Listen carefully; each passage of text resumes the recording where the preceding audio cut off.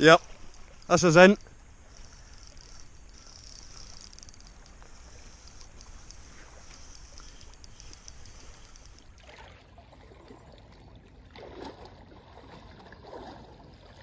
There we go.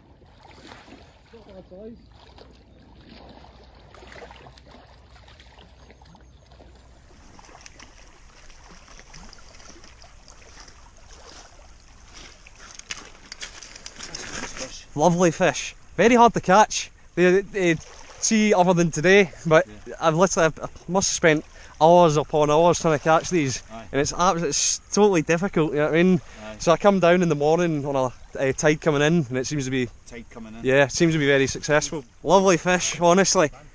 And see for the size of them as well, they, they, they put up a brilliant fight.